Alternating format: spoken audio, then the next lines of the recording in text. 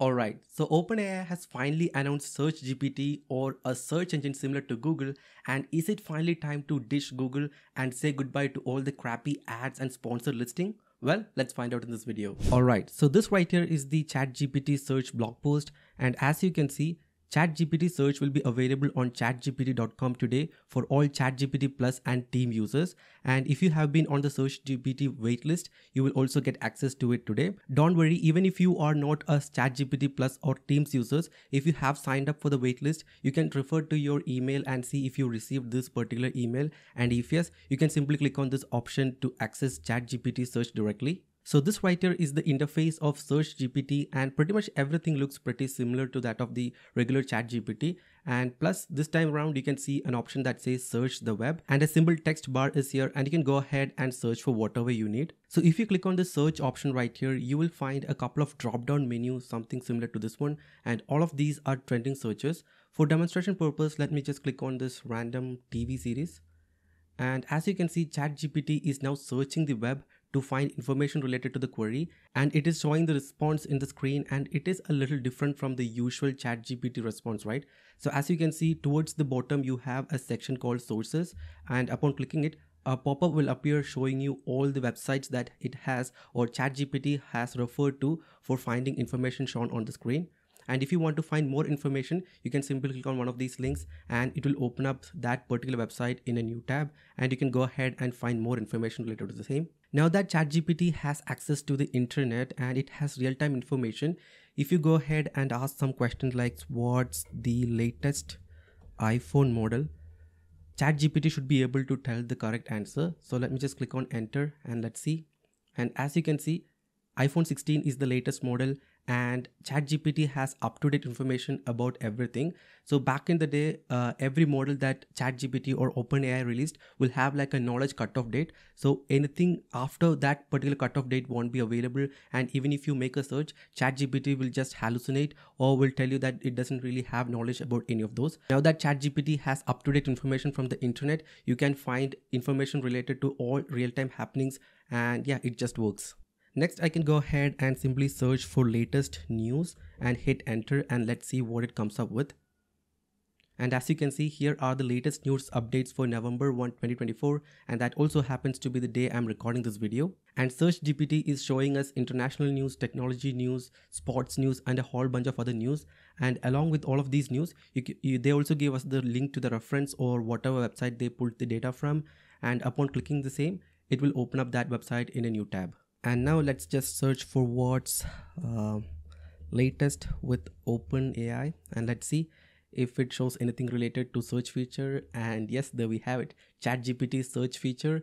And it is pulling this data from ars technica. And you can find a reference link and all that kind of information. So even if you want to know about the latest happenings and news, ChatGPT is now able to show all of that. And the best part is that ChatGPT will summarize the entire content and give, will give you information like this in like a couple of sentences. And that's also a good thing. Apart from that, Search GPT can also now show you real-time stock and uh, cryptocurrency price data as well. For example, let me just simply search for Google price.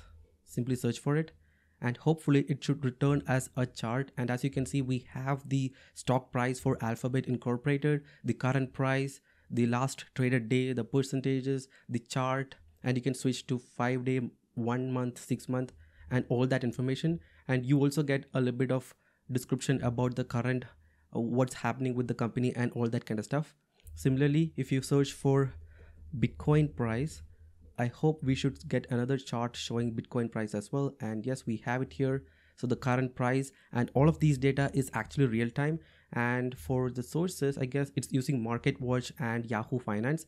And the best part is that whatever results that Search GPT shows you, you also get to see the target link or source from which it is pulling the data. So if you are doubtful as to if it's authentic, you can simply click on this option and view more information and confirm if the whatever stuff that ChatGPT shown you is actually correct or not. Next, let me search for what's the weather today in NYC. And ooh, as you can see, the interface is a little different here and you have the weather data for New York for the next seven days, I guess. And that's cool too. And you can switch between Fahrenheit and uh, Celsius right here using this option right here. And you also get this severe weather warning alert okay? So if there is some kind of weather alerts or something as such you can get a dedicated panel here showing you all the details. So as it says it has red flag warning in effect from 8 a.m today until 7 p.m edt so that's also yet another cool thing as searchgpt is a search engine it should have information about places also right? So if you go to google and search for something like coffee places in manhattan you should be shown a bunch of random results from the place right?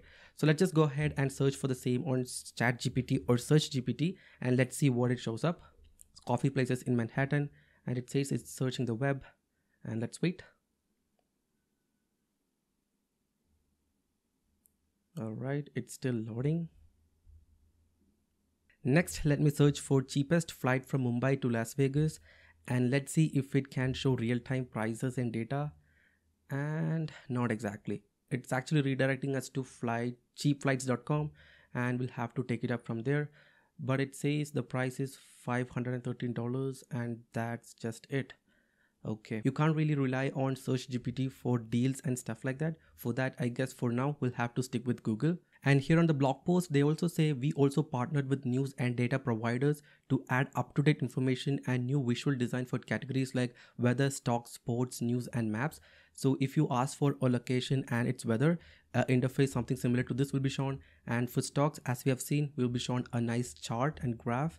And for sports the live scores and stuff as such will be shown. And for news we'll have this kind of uh, special embeddings and for maps when you search for a coffee place or a restaurant in this particular location a maps will be shown and it will also have listings related to whatever restaurants that is listed and shown and the timing the ratings the description photos and all sort of stuff like that. So that's search gpt in a nutshell. So the cool thing about search gpt is that it just searches for whatever stuff that you asked for on the web and returns results as if it's giving us a normal response. So if you were to search for the same on google you will be seeing a lot of crappy ads and sponsored listings and you'll have to go through multiple websites to f- take an informed decision right? Well all thanks to search gpt it will go ahead and make the search and summarizes the information from multiple websites and it will give you a condensed version of the same. And that way with less time you get more information and that way you can save a lot of time. And another cool thing about search gpt is that it has no ads whatsoever. So you just go ahead and ask some question and chat gpt will search for it and give you the results and that's just all about it. You don't have to navigate and you don't have to take time to differentiate between a sponsored listing and a non-sponsored listing and any of that. Chat gpt will refer to the website and gives you all the information that you want. So that's pretty much all about search gpt and yeah, that's pretty much all I wanted to show in this video. I hope you guys found this video useful. If yes, make sure to subscribe and I'll see you in the next one.